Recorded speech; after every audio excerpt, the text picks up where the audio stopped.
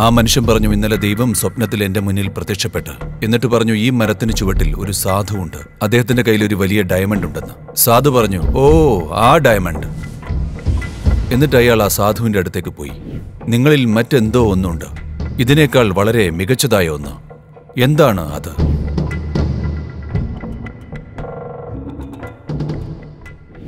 Can you give us two tips that, that, that you think that we could live to our peak as an example to others? നോക്കൂ നിങ്ങൾ ഉന്നതി എന്ന വാക്ക് ഉപയോഗിക്കുമ്പോൾ സ്വാഭാവികമായി നിങ്ങൾക്കൊരു മല കയറണമെന്ന് തോന്നും അതായത് മറ്റുള്ളവർക്ക് ചെയ്യാൻ കഴിയാത്തത് ചെയ്യണമെന്ന് നിങ്ങൾ ആഗ്രഹിക്കുന്നു അതിന്റെ ആവശ്യമില്ല കാരണം The peak is not in what you're doing outside. The peak is in the way you experience it. വളരെ അഗാധമായ അനുഭവത്തോടെ ചിലർക്ക് ചെറിയ കാര്യങ്ങൾ ചെയ്യുവാനായി കഴിയും അതുപോലെ ചുറ്റുപാടും നടക്കുന്ന കാര്യങ്ങളെക്കുറിച്ച് അവബോധമില്ലാതെ വലിയ കാര്യങ്ങൾ ചെയ്യാൻ ചിലർക്ക് കഴിയും. അപ്പോൾ അടിസ്ഥാനപരമായി നിങ്ങൾ അന്വേഷിക്കുന്നത് നിങ്ങളെ ഒരു ജീവനായി മാത്രം കാണുക. ഇപ്പോൾ നിങ്ങൾ പല സാമൂഹിക അസ്തിത്വങ്ങളായി മാറിയിരിക്കുന്നു. അതിൽ നിങ്ങൾ സ്വയം നഷ്ടപ്പെടുത്തിയേക്കാം. സത്യത്തിൽ നിങ്ങളൊരു ജീവനാണ്. മരണഭയം ഉണ്ടാകുമ്പോൾ മാത്രമാണ് ഒരാൾ ജീവനോടെ ഇരിക്കുന്നതെന്ന് തിരിച്ചറിയുന്നത്. അതുവരെ അവർ മറ്റെന്തോ ആണ്. അവർ മറ്റു പലതുമായി മാറിയിരിക്കുന്നു. ഇല്ലില്ല നിങ്ങളുടെ പ്രവർത്തനങ്ങൾ ഇവിടെ എന്തു തന്നെയായാലും നിങ്ങൾ ചെറിയൊരു ജീവന്റെ അംശമാണ് അങ്ങനെയല്ലേ? ഭാഗ്യവശാൽ നമ്മളിലൂടെ ചില കാര്യങ്ങൾ സംഭവിക്കുന്നു. പല ജീവിതങ്ങളെ അത് സ്പർശിക്കുന്നുമുണ്ട് അത് വലിയ കാര്യമാണ്. എന്നാൽ പക്ഷെ ഇപ്പോഴും ഇതൊരു ജീവനാണ്. ഈ ജീവൻ അതിന്റെ ഏറ്റവും മികച്ച രീതിയിൽ പ്രവർത്തിച്ചാൽ മാത്രമേ മറ്റെല്ലാം നന്നായി സംഭവിക്കുകയുള്ളൂ. മികച്ച രീതി എന്നാൽ എന്താണ്? ഇത് വളരെ വ്യക്തമല്ലേ?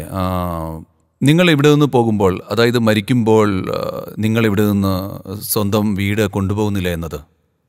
നിങ്ങളൊന്നും കൊണ്ടുപോകുന്നില്ല. അവർ പറഞ്ഞു നിങ്ങൾ മനോഹരമായ കെട്ടിടങ്ങൾ നിർമ്മിക്കുന്നുവെന്ന്. നിങ്ങളത് ഇവിടെ ഒന്നും കൊണ്ടുപോകുന്നില്ല അല്ലേ? നിങ്ങൾക്കുള്ള താമസം ഒരു നിങ്ങൾ കൊണ്ടുപോകാൻ പറ്റില്ല ശരിയല്ലേ? ഇത് വളരെ വ്യക്തമാണ് നിങ്ങളിവിടെ ഉപേക്ഷിക്കുന്ന ഒരു കാര്യം. നിങ്ങളുടെ അനുഭവത്തിന്റെ ആഴമാണ് ശരിയല്ലേ? നിങ്ങളുടെ അനുഭവം എത്രമാത്രം അഗാധമാണ്? നിങ്ങളുടെ ജീവിതം അഗാധമാക്കാൻ ചിലർ പറയുന്നു വിദ്യാഭ്യാസത്തിലൂടെ മാത്രമേ അത് സാധ്യമാകൂ. അപ്പോൾ എല്ലാവരും യൂണിവേഴ്സിറ്റിയിലേക്ക് പോകുന്നു. ഞാൻ പോയിട്ടില്ല. ചിലർ പറയും പൈസയുണ്ടെങ്കിൽ അത് സാധ്യമാകും. അപ്പോൾ എല്ലാവരും അതിന് പുറകെ പോകും. വിവാഹത്തിലൂടെയാണ് അത് ലഭിക്കുന്നതെന്ന് പറയുമ്പോൾ എല്ലാവരും വിവാഹം കഴിക്കാൻ പോകുന്നു. കുട്ടികളുണ്ടാവുമ്പോൾ അത് സാധ്യമാവുമെന്ന് ചിലർ പറയുന്നു നമ്മൾ അതും ചെയ്യുന്നു.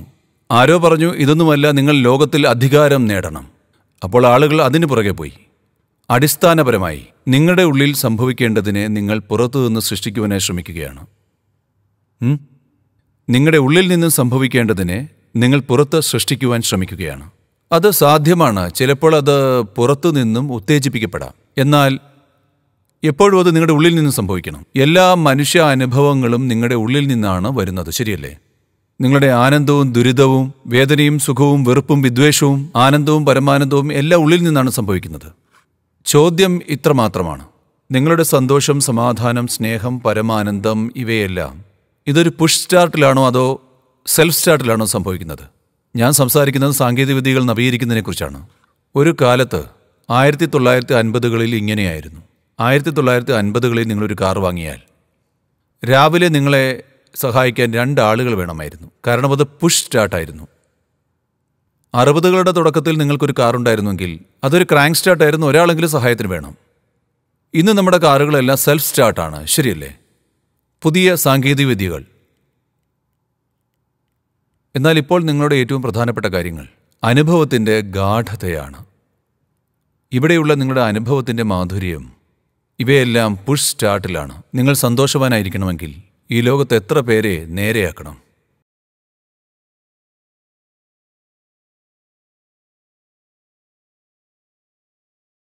അതുകൊണ്ട് നിങ്ങളുടെ അനുഭവം ഒരു പ്രത്യേക രീതിയിലായിരിക്കുന്നതിന് അനന്തമായ വ്യവസ്ഥകളുണ്ട്. മനുഷ്യന്റെ ക്ഷേമത്തിനായിട്ട് നാം ലോകത്തെ തലകീഴായി മറിച്ചു ഭൂമിയെ കീർമുറിച്ചു. എന്നിട്ടും നാം ഏറ്റവും സന്തോഷമുള്ള തലമുറയായി മാറിയില്ല. തീർച്ചയായും നമ്മൾ കൂടുതൽ സുഖസൗകര്യങ്ങൾ അനുഭവിക്കുന്ന തലമുറയാണ്. നിങ്ങളും ഞാനും അനുഭവിക്കുന്ന ഇന്നത്തെ സുഖ സൗകര്യങ്ങൾ മുമ്പത്തെ ഒരു തലമുറയും അനുഭവിച്ചിട്ടില്ല. ശരിയല്ലേ? ഒരിക്കലുമില്ല. നിങ്ങൾക്ക് പറയാൻ കഴിയുമോ? ഇത്രയേറെ സുഖസൗകര്യങ്ങൾ ഉണ്ടായിട്ടും നമ്മൾ സന്തോഷവാന്മാരാണെന്ന്? ഇല്ല. കഴിയില്ല. കൂടുതൽ ദുരിതം അനുഭവിക്കുന്നെന്ന് ഞാൻ പറയുന്നില്ല. പക്ഷെ തീർച്ചയായും നമ്മൾ ഏറ്റവും ആനന്ദമുള്ളവരല്ല. നമ്മൾ സമാധാനമുള്ളവരാണോ? അല്ല. സ്നേഹമുള്ളവരാണോ? അല്ല. അതിനാൽ ഗുഹാമനുഷ്യന്റെ ജീവിതാനുഭവം എങ്ങനെയായിരുന്നു? അതുപോലെ തന്നെയാണ് ഇപ്പോഴും നമ്മുടെ ജീവിതാനുഭവം എവിടെയാണ് എന്റെ ഭക്ഷണം? ഞാൻ ആകുലതപ്പെടുന്നു. എവിടെയാണ് എന്റെ അടുത്ത താമസം? അവസാനമില്ലാത്ത ആകുലതകൾ. ഇത് വ്യത്യസ്തമാണെന്ന് നിങ്ങൾ കരുതുന്നുണ്ടോ? വെറും അടിസ്ഥാനപരമായ കാര്യങ്ങളാണ്. അല്ലേ? ഇന്ന് നമ്മുടെ അതിജീവന പ്രക്രിയയെ നമ്മൾ സജ്ജീകരിച്ചിരിക്കുന്ന രീതി പരിശോധിക്കുകയാണെങ്കിൽ നാം അതിനെപ്പറ്റി ആശങ്കപ്പെടേണ്ട കാര്യമില്ല. ശരിയല്ലേ? ഹലോ? ടാപ്പ് തുറക്കുകയാണെങ്കിൽ വെള്ളം വരും. അതൊരു ചെറിയ കാര്യമാണെന്ന് ചിന്തിക്കരുത്. നൂറ് വർഷം മുമ്പ് വെള്ളമെന്ന് ആലോചിക്കുമ്പോൾ നദിയിലേക്ക് പോകണമായിരുന്നു. വലിയൊരു കുടം തലയിൽ. അപ്പോൾ നമ്മൾ എന്തിനാണ് ഇന്ന് ഈ സൗകര്യങ്ങളെല്ലാം സൃഷ്ടിച്ചത്? കാരണം നമുക്കപ്പോൾ ദൈനംദിന നിലനിൽപ്പിനെക്കുറിച്ച് ആകുലതപ്പെടേണ്ടതില്ല. എല്ലാം സജ്ജീകരിച്ചിട്ടുണ്ട്. ഇതെല്ലാം സജ്ജമായതിനാൽ ഇവിടെ നമുക്ക് പരമാനന്ദത്തോടെ ഇരിക്കാമെന്ന് നാം വിശ്വസിച്ചു. എന്നാൽ അത് സംഭവിച്ചിട്ടില്ല.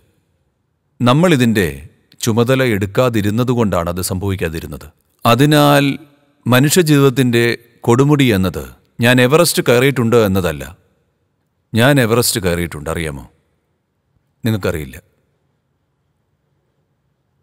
ആ ഏറ്റവും മുകളിൽ. ആരോ ഒരാൾ അവിടെ കയറി എന്റെ ചിത്രം കയ്യിൽ പിടിച്ച് ഒരു ഫോട്ടോ എടുത്തു. ഞാൻ അവിടെ എത്തിയെന്ന് ഞാനും വിശ്വസിക്കുന്നു. അത് കൂടുതൽ വിവേകപൂർണമാണ് കാരണം ഈ വ്യക്തി അവിടെ പോയിട്ട് എന്റെ ചിത്രത്തിന്റെ കൂടെ ഒരു ഫോട്ടോ എടുത്തിട്ട് തിരികെ വന്ന് പറഞ്ഞു സദ്ഗുരു ഞങ്ങൾ പന്ത്രണ്ട് പേരാണ് യാത്ര തുടങ്ങിയത്. അതിൽ രണ്ട് പേര് മാത്രമാണ് മുകളിലെത്തിയത്.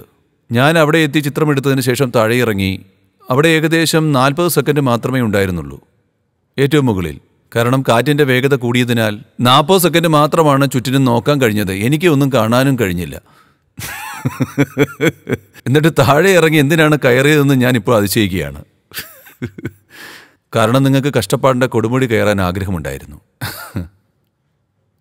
എവറസ്റ്റ് കയറുന്നത് ശാരീരികമായി ഒരു ചെറിയ വെല്ലുവിളിയേ അല്ല. ചെറിയൊരു കാര്യമല്ല നിങ്ങൾ കയറരുത് എന്നല്ല ഞാൻ പറയുന്നത്. ഞാൻ പറയുന്നത് കൊടുമുടി നിങ്ങളുടെ ഉള്ളിൽ മാത്രമേ സംഭവിക്കൂ.